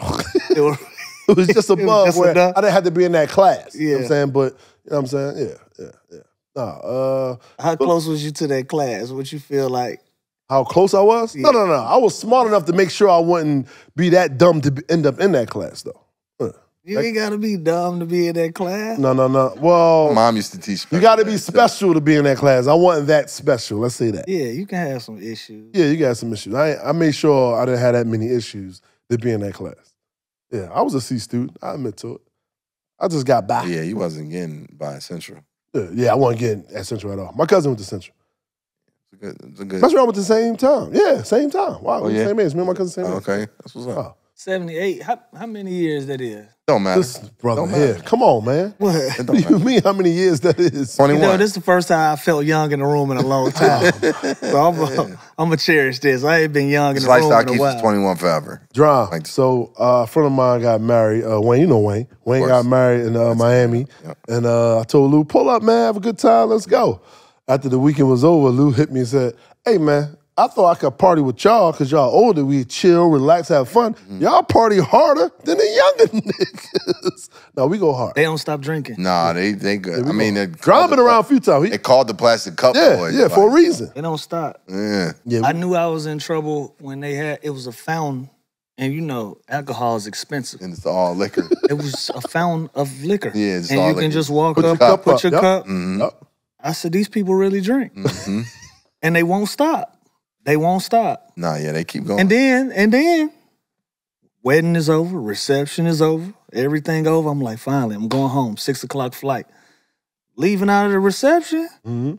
They was giving out bottles. I said, these motherfuckers do not you take a souvenir. stop. I did, I did. I Yeah. grabbed a few. Gotta do that. I grabbed a few. Shout out Got to a few. Gran Coramino with that new Reposado By the way, motherfucker. man, you know what I'm saying? congratulations. Yeah, congrats, Wayne. Congrats. And Kev, congrats to both of y'all. Yeah, yeah. Congrats to me too. I'm like a little 0.0001 percentage. If you in there, into- you in there. Yeah, I'm in there though. I'm in there though. Yeah, I'm in yeah. there, though. Shouts out. Congrats. Kev always try to make sure we all, you know what I'm saying? Shouts out to Hart House, Fanatics, all that. We all Love that. I love a part of everything. Yeah, kid, give me twenty five thousand dollars worth of stock.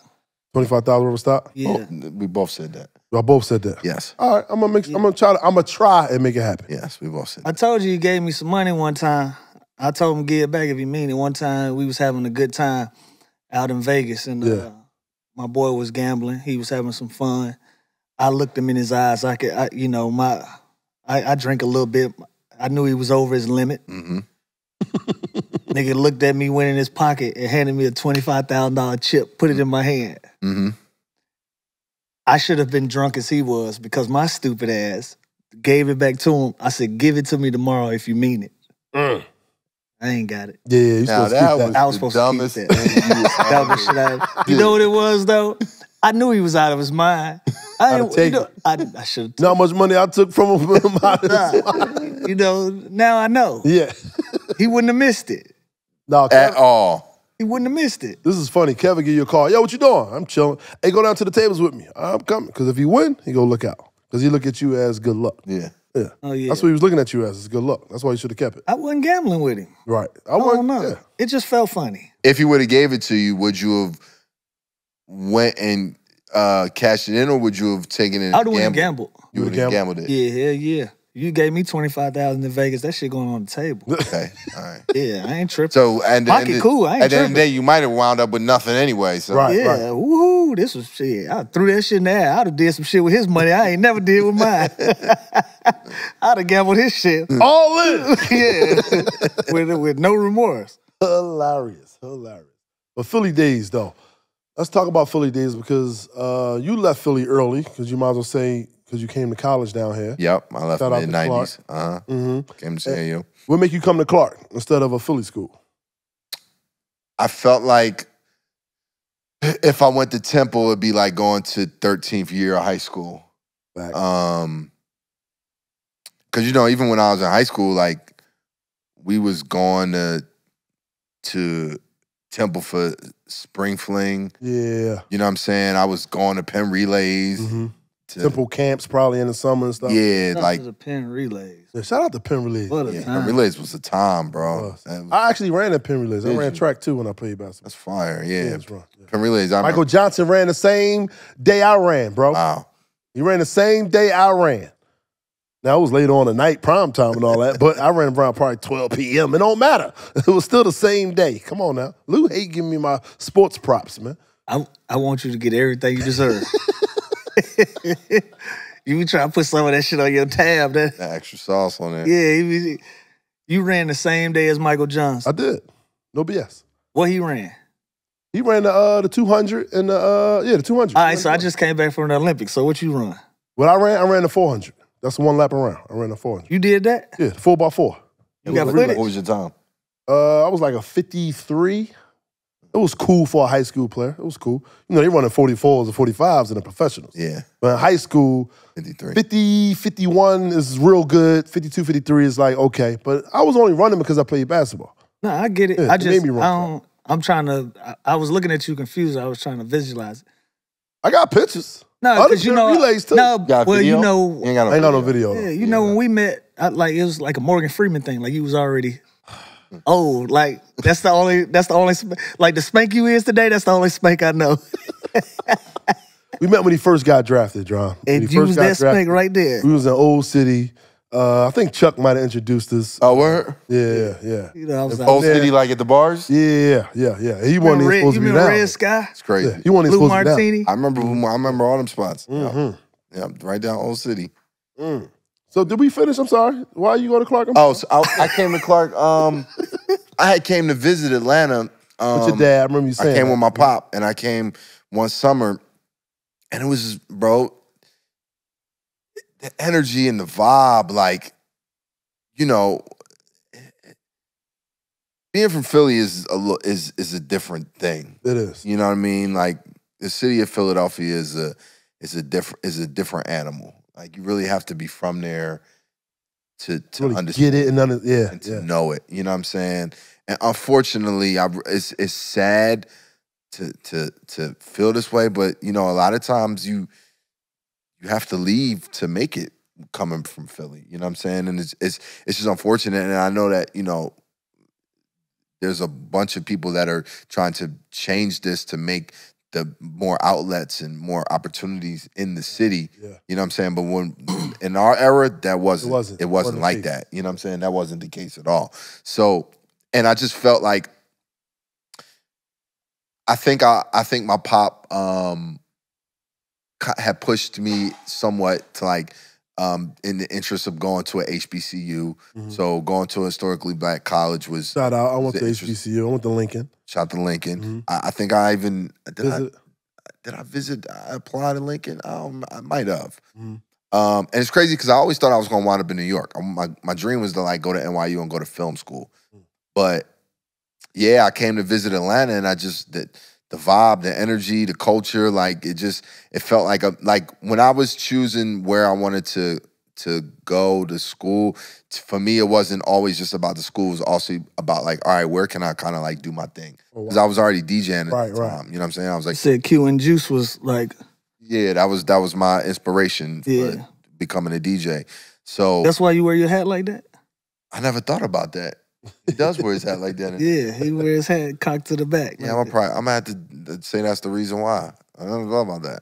Mm. Um, Shout out to the uh y'all y'all reshot that too. That was so legendary. That was dope. That was yeah, that was fire. That was dope. That was so. I, I can't believe that I, I got I pulled that off. Like just that, just to be there with Queen Latifah and, Right. and Omar Epps and.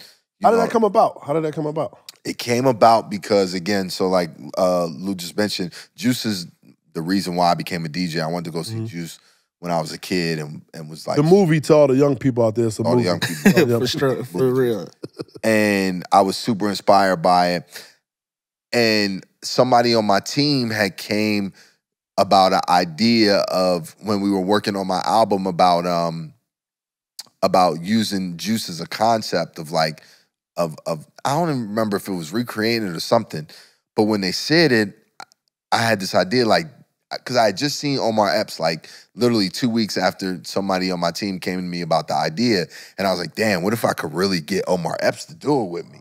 So I wound up calling O, running to buy him at the time. Um, he was working on um, um, um, I, I have a uh, Power. Is it Power? Yeah, Yeah, it's. Power. Uh, he was Kanan. doing no Raising Canaan, Kanan. raising Yeah, Kanan. That's what it is. He was doing Kanan, so he's like, "Yo, I'm interested, but I got to check my schedule Mm. because you know he knew how influential that movie was to me and Right. to a Mhm. generation of Oh, yeah. DJs.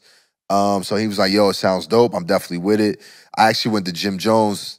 Um, I, I, I asked Jim like, "Yo, I got this idea. I want you to direct it," and Jim was like, "Oh, I'm in." And Jim, Jim was super like went all the way full throttle, like you know, even when it came to like the um the costume design. He wanted to execute and it. finding Oh, like yeah, he Jim wanted was to make sure Jim it was executed Jim was right. really in. So then you know, I just as I as I went, like once I got O's interest, I started going even further. Like, damn, what if I could really get Raheem and Steel? Mm, I was like, damn, what if I could? What if I get Queen Latifah to do it? right. So I reached out to um Shakim, shout out to Shakim Shout out to Shaquille. and Sha Sha uh, took it to La. There was some interest there. We actually wound up seeing each other at the Grammys for the uh, 50th um, anniversary of Hip hop. hip hop. Mhm. And when we were on stage, I was part of that performance that year. And I, I told her what I wanted to do, and she was with it. And little she like right after the Grammys, I think we shot it like that. Two, this Grammys was on a Sunday, and she her window was like that Tuesday. So I told Jim like, "Yo, we got to get it done ASAP." So we did her part. We did. We shot the part with uh, Latifah first. Then I did the scene with with um with O and uh, Raheem and Steel and the fact that I, I really like got the pull, I Yeah, I, I, had. I made it happen and like you know what it meant what that movie means to me and just to sit here and and look at myself with the cast it's like you know that's I I, I have a lot of moments in my career where it's, I'm, I, I'm super like almost humbled in a way like when I think about what I've been able to accomplish and that definitely was one of them. That's one. That was dope as hell. That's like me. You know what I'm saying I'm gonna get out of the humble part and get into my little cocky part. I did a voice for Tom and Jerry. Wow. That was my Nah, that favorite was cartoon growing up. And I got a call from the director. It was like, hey, I think we want to do something where we add to the Tom and Jerry cartoon where we do voices. We want y'all to be the Alley Cats, Alley Cats, the Plastic Cup Boys. I said, hell yeah. Mm-hmm. and I did that. I was like, wow, I'm really doing a Huge, voice for Tom and Jerry. And that was like my favorite cartoon growing up. So I know exactly how you feel on that. That's You get crazy. residuals for that, bro? yeah, I still get a little, I course he still get a little couple dollars. Yeah, you get like two dollars. dollars, two. Yeah, two dollars and fifty. Yeah, yeah. I know them two fifties. I'll be getting them little two fifties. Yeah, I get a little couple dollars here and there. Yeah, that's cool. That's I like dope. It. it was more about me just doing it though. That was dope as hell. Nah, I get it. That's Yeah. fire. I had a good time with that. That's probably something I like think you was in you was your, your voice was even in the trailer. You was in the official trailer, wasn't it? I might have. I can't remember. I might have. I might have. Think so. But it was the Alley Cats when we always like was coming at time and all that. The vo- voice voice uh, work is something that I've always been interested in, uh, like and doing shit like that. Mhm. That's super dope too. Oh word. Yeah. we got like a little segment in the stu- in the HartBeat, you know, company where we trying to do voices and stuff like that. Hey man, keep me We'll in mind, man. out. You know, Yeah. I got a somewhat noticeable type voice. You know? I would love to love to do that. Gangsta Grillz. that shit was all right. Well, Not bad. that wasn't bad at all. bad. I've been drinking a little bit. Well, you definitely need a story though, John. You definitely need a story. Yeah. Yeah, because I can see it. You've been from a long way from when you first started. This whole story, I can see it. I really can't. Well, I'm actually one uh, uh, one one thing I didn't mention that I I do have coming up too is I just finished my book deal. Um, so I'm I'm I'm doing two books. Um, Nigga, I asked you what was coming out. Now you want to talk books. You just remember, bro. yeah, I forgot. bro. You They got so much going on. Bro. Yeah, so I got. Yeah, there you go. I'm I'm doing like a, a memoir of some sort, and I'm also doing a children's. See, movie comes after How that. you Here we forget go. two books? I- Come on, Spank. My Huh? You forgot two books. Yeah, my bad. You got Well, you children. usually sign a two book deal. That's probably why. Yeah. They want to sign a one because like yo, it's gonna I do wanna do a good. kid At least sign two. This is a, So if it's it a real flop, entertainment he good. business guy Yeah. over here. So if it flop, we good. But if it do well, we got the second one. he knows his stuff. Hey, if you was to do a children's book, what would be your message to the kids? Uh, I mean, I, I don't want to give away too much, but um, I'm just talking to this crazy ass nigga. I, you see me 'Cause I look, where knew he that was drum? gonna Once you me started I talking, I was look, where looking that for. drum? I'm are out you, oh, you talking to him? No, no, no, we out of No, there. yeah, he's talking to you. He's talking to you. He wasn't talking to me. Because drum, I knew he was gonna give me what I was looking Yeah, for. no, no, go ahead. He wasn't talking to me. Yeah, I just saw a children's book. It's crazy. they was talking about talking about the whole boys and dating boys and stuff like that growing In a up. children's book, a children's book, yeah. Yeah, they put it in children's books where Would you bring that home? no, not bring that home. Nah. Uh, if I was to do a children's That's book, interesting. what would I do if I was to do a children's book? Hmm. I'll probably bring it back to back in the day how we used to be. Kids used to go outside and play. Right now, kids just play the games, iPad, stuff like that. So I'll probably try to bring old school type stuff. That book's not selling, bro. A book's not selling No, because you know where they're gonna read that You book know- at? on the iPad. and they're gonna say, go outside. I was about to say, where you think they gonna look at that book at? Yeah. On their I tried. phone. This shit is a lost art though. It is, it is, it is. Even the whole buying a CD, bro. Oh That man, era right there no, Yeah, for real. was like the best. for it me. was. I remember waiting in line. Waiting in a CD. line. I remember that. Yo. And then having to pick, like, yes. I just seen somebody talk Mm-hmm. about like even now when you think about kids and discovery of music, like it was hard for us back in the day because you only had like two options, if Yup. two, Yep. because you only had at twenty dollars to Yeah, spend. yeah. Yeah. And the CD was what between nine ninety nine and sixteen ninety nine. Uh-huh. Yep. So you, and you only was getting one, One. maybe two of you was lucky. So and that was your music. Now you pick up your phone, you can listen to Anything. 10 million records under the world. You know what I'm saying? Do y'all remember when you had to pick? It's like, ah, I don't want Yeah, this yeah. one or this Hell, one. nigga, do you was do you remember going in the record store and sampling the album? Sampling Yeah, the Putting album. the yeah, yeah, headphones just the on. headphones. Yeah. Listening to about a minute, Yeah, listening to yeah, about a yeah, minute of the song. Yep. That's how you made your pick. My the first CD I ever bought with my own hard earned money was Snoop Dogg's uh, Dog Father. Wow. Father. Wow. I remember my first. My first was Low End Theory, Tribe Called Quest. Wow. My first CD I ever had, somebody bought it for me for Christmas, but it was um uh MC Hammer, You Can't Touch This. Mm. That's a good one. Yeah. I'm gonna tell you why I picked Snoop Dogg because I only had ten dollars. I couldn't gamble, Yeah. so I had to go with something I for sure knew. Sure. Yeah. Somebody that I knew for sure was gonna get me something, so I picked Snoop Dogg. You know it would be a great question for you, Drum? I just thought about. Because it's a little uh, a debate. They saying who had the most heat after a mixtape. They always say Drake after his mixtape. They say 50 Cent after his mixtape. They say Snoop. Snoop didn't really have a mixtape, but he was doing features with Dr. Dre and everybody. Okay. Who do you think was the hottest coming off? Of their mixtape? Yeah. Lil Wayne. Lil Wayne. I forgot about Lil Wayne. My fault. How can I forget? Are we counting him too?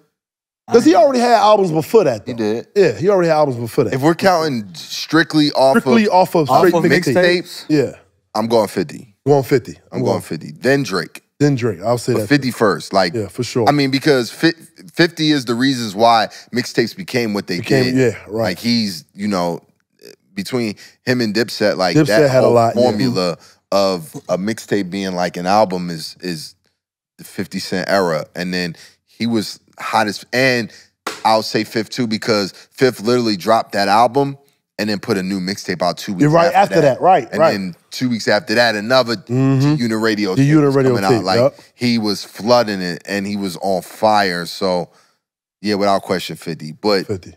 Wayne has to be in that conversation. Yeah, Wayne definitely. And then I, I would Snoop comes from a different era, but when we just talk about like rookies who went Their debut album, like yeah, straight from high school to the league, you Mhm. gotta put Snoop in that conversation too, for sure. for sure, for sure. Yeah, well, I had a few arguments with that. We be having these little debates in my little good, crew. good rap combo. Mm-hmm. Uh, let me see. What's another great one? Comes to that. What about who your favorite? Let's put a little pressure on the couch. Who your favorite athlete slash rapper? Oh, um, athlete slash rapper. Hmm. I'm gonna go. How many? You want three, four, five? Let's go five. Let's go top five. 'Cause It's, it's, it's a lot of them out there now. I just heard a new one from Jaylen Brown. I'm like, hold on, bro. Yeah, What's he going just dropped the record. It's featuring somebody. Uh, Ferg. ASAP Ferg. ASAP Ferg, yeah. All right, so number one. Well, I don't, I don't know if I want to do an order, but There don't have to be an order. All right, I'm gonna I'm gonna- I'm gonna go Shaq Mm-hmm. He the only one with a platinum uh, album. for sure. I'm gonna go Dame Dollars. They can really spit. Um, um, You gotta throw Deion in there. Who? must be the Deion money. Sanders. Must be the money. Deion. Deion had a hit. That was a hit. That was a hit. That was a hit. Okay, we could put Deion in there. Deion had a hit. Um, Deion in there. The nigga on the panel with a feature from Lil Wayne though. Ah, damn. I represent the underground. Luke, I'm really, I'm Luke like could the, spit. Luke could always, yeah. Luke been around his rap shit his whole life, so yeah, exactly. put Lou in there, Mm-hmm. and then I need one more. Ah, I, I mean, I, you know, even though most people ain't heard it, I'm gonna I'm gonna put Chuck in there.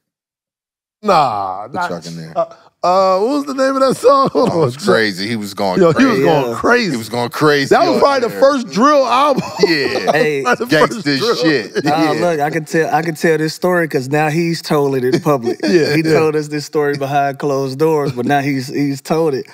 He said he got a call from David Stern to come up to the NBA offices in New York. Mm-hmm. He said he walked in the office, they got the album playing on the loudspeakers in the office. he said so he walk in thinking they feeling this shit. Yeah. this nigga on there dropping f bombs, Bro. and I ain't talking about fuck. No, Yeah, no. so he- Crazy. Oh, he said he go to uh he go to David Stern office. David Stern turned to him and said, "This what the fuck you trying to do to my league?" I think it was on that album. Hey, Chuck was tripping on that album, Chuck was going crazy on that going song. crazy. Oh, bro. That's an obvious one we missing though. Kobe, Kobe. Kobe is there, Kobe was good.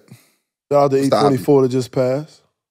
man. It's an obvious one out there, man. You got We ain't counting Master. Oh, you got Iman Shumpert. Master Shumpert's P in don't there. count. Oh, Sean, oh yeah, I'm Um, tripping. And Master P does count. Master, Master P count? Master Master P P played in the NBA. That count, He All right. did, but he was rapper first. Bro. He played, Played in in the NBA. NBA. Okay. So Master Right. P. That's Right. the obvious one. I did it. I did Gangster P. Girls with Shump. Man, Yeah. Oh yeah, shout out to Iman. Shump Shout, is out. spent. shout out to Shump. Yeah. Sure. Come on. Yo, Shump wild. You want, uh, man? You know, if you get bored, I got like I got some records in the tuck. If you want to put something together, you know what I'm saying? I ain't mad at it. Why you say if you get bored? Like, Yeah, I ain't mad. Yeah. nah, 'cause throw it know, under the. This like, DJ. This is. DJ Drama here. I He know ain't that, got all. but you don't ain't- throw that under the. he ain't got all day to deal with this shit. You know. That's like if drum called me, like, "Yo, you want to go shoot around?"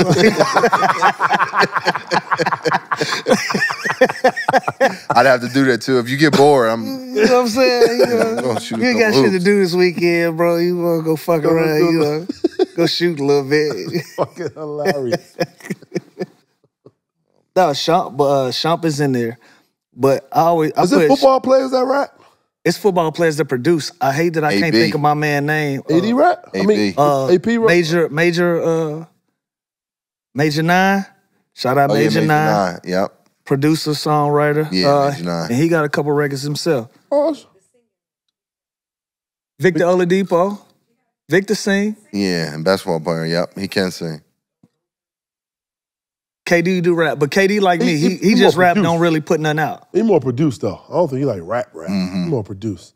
Uh, I'm trying to think football players though. I don't D, think D Jack, I think D Jack had a D little. Jack did have a label, Jackpot. He Yeah. did. Yep. Uh, yeah, that's about it. Yes. That I, I'm that sure we know more of. though. That we know of. If Yeah. you do, if you are an athlete You and know you do who? rap, Um, um, what's his name? Um, Playing for the Lakers.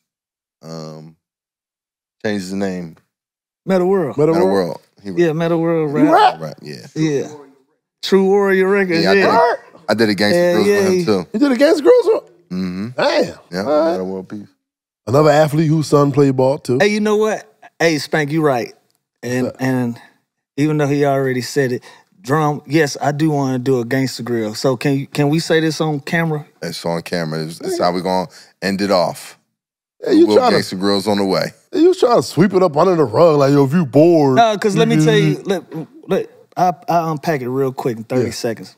Moral to the story is mm-hmm. I'm better than a lot of these motherfuckers. I Talk your don't shit. put Yeah. my I just don't put my shit out. And if I'm not in the mood to put it out, it mm-hmm. ain't coming out. That's true. Like if I'll send a record to Dree, I'll be like, yo, I want to get this record serviced. If it don't happen in like the next seven days, Right, then you out of there. I'm not gonna follow up on it. So I'm tired of this shit sitting in my phone. What better way to put it out than the appropriate way? There you go. It's only right. Making it happen. That's the only reason why you invited him. Let's keep it real. no, I'm joking. I'm joking. nah, no, no, John, this is good though. I love this. Man, I'm glad we sat back down because somebody Absolutely. tried to end this shit all early. You did the right thing, bro. I've been telling you I'm following your lead, nigga. I don't know why you let me keep being in charge. Because you go out of nowhere, hey man, it's been a great, se- great show. I'm like, damn, bro. You didn't give me the eye now, like yo, I'm Hey, about to because wrap you it know up. what? I don't. I don't. I, I still look at myself as the talent, and I know if I'm in his seat Yeah, about an hour, I'm like, "What the fuck we doing?" right, right. That's how. That's just how I am. So before a nigga feel that way about me, but you got to understand this though. This is relationship based right here. 100%. that's This a is not like And you are who you are. right, right. Y'all right, are who y'all are. Hey right. man, you know what? Thank y'all. Hey, listen, appreciate y'all mentoring me on this uh I got you. on this new on this new on this new Anytime you need journalism some journey. tips and advice, I'm here. Yes. Yeah. Oh no. I think Drum told me, he said, hey man, you're supposed to make a motherfucker talk till they tell you wrap it up. Yeah. The nigga just told us to wrap it up. You didn't hear him. He said, I'm gonna close out on that. you, didn't, you, didn't, you didn't catch that. you know, I've been waiting for the cue. You been waiting Ever for the since cue? you told me what the cue was, I've been waiting for it. Now we got it. Nigga, close us out, man. Hilarious. hey man, it's been another fabulous episode, man, of the Underground Lounge with me, Spank Horton, and your boy Lou Will, and our special, special guest from Yes, Philly, sir. representing the ATL as well, DJ motherfucking Drop. Mr. Thanksgiving! Let's get it. Uh. Hey man, make sure y'all tune in, man. You know, this is what we do. Subscribe. What else they say? What else they Scribble? Subscribe. I'd like Like, like, and comment. Come on, let's get it.